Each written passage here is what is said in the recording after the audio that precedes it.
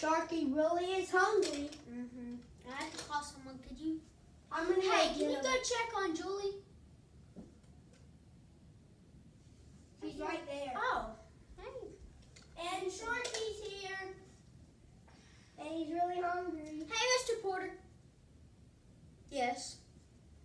I see your problem. I know.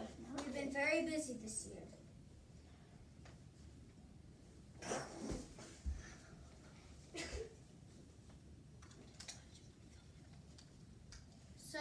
Today, I'm gonna go in my room. I'm gonna get that coolie.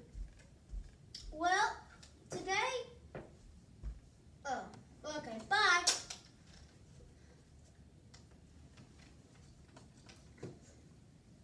I'm gonna call someone.